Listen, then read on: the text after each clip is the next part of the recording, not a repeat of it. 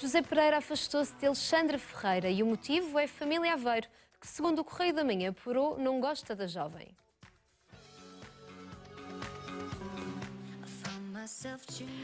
O namoro de José Pereira com Alexandre Ferreira nunca foi aceite pela família Aveiro.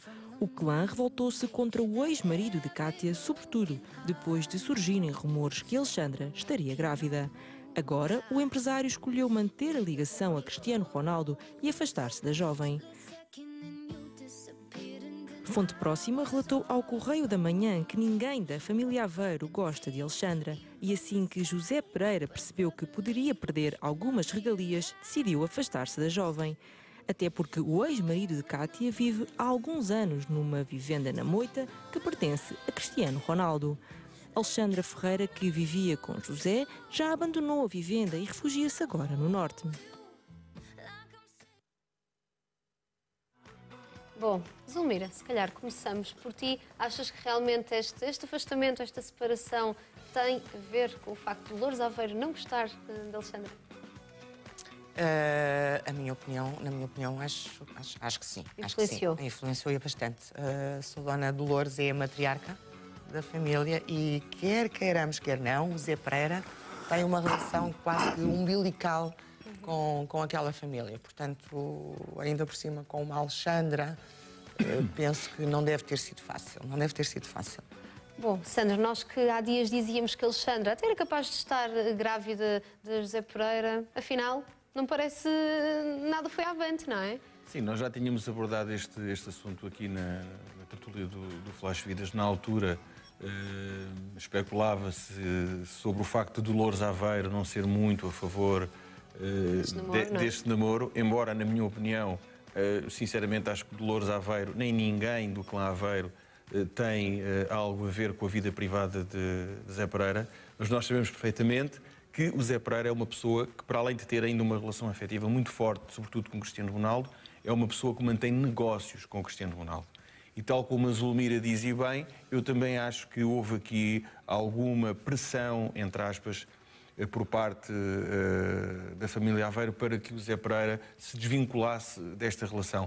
Eu recordo que eh, Alexandre e o Zé estavam a viver na mesma casa, na Moita, portanto, uma propriedade que, julgo eu, ainda pertence à Cátia Aveiro, e a Alexandra já não está a viver nessa casa, está no, no norte, no Porto, eles estão definitivamente separados e, sem dúvida, acho que houve aqui uma, uma certa influência por parte da- do clã Aveiro para, para que se verificasse esta separação. E se assim foi, João Malheiro, concordas? Achas que alguém se deve separar da pessoa que gosta por influência familiar?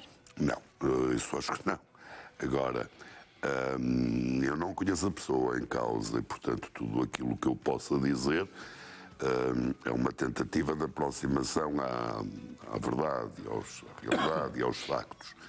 Eh, uma vez que já se ventilava, eh, digamos, uma certa animosidade da família Aveiro eh, para com a, namorada, como é que ela se chama? Alexandra. Alexandra. Eu penso que sim, tal como disse a Zulmira, tal como disse o Sandro, dá-me a ideia que terá havido alguma influência. Agora, em tese, eu tenho que dizer que não, não me parece curial que alguém enfim, cuja relação terminou, alguém que até eh, tem, que é o caso da Cátia, não é? Ou, ou uma outra relação, ou pelo menos. eh, Alegadamente. alegadamente não é? Exato. Ah, não pode condicionar o ex-marido, não vai ficar toda a vida sem ter um relacionamento só porque tem dois filhos em comum e porque o cunhado se chama Cristiano Ronaldo, não é? Isto com todo o carinho pelo Cristiano Ronaldo, eu sou daqueles que têm muito carinho por ele. Por isso, ah, isto é válido para, para, para esta família, como é válido para outra família qualquer. Quer dizer, as pessoas têm direito a ter a sua vida sentimental, não é? Uma vez que eh, os relacionamentos eh, terminam, é portanto refazer as suas, as suas vidas. Agora dá-me a ideia que sim, que terá havido aqui alguma influência. Sim, e as mães têm sempre um dedinho. Eu próprio tenho um filho, claro que não me meto nas relações dele. Mas, Mas há aquelas meninas. sobre. Exatamente. Isso é inevitável. Então, e Qualquer o mãe que é que nós isso. nunca questionámos? O que é que Alexandra terá Uhum. para realmente não agradar a Dolores Aveiro? Assim, do teu ponto de vista, tu que tens um filho, lá está. O que é que.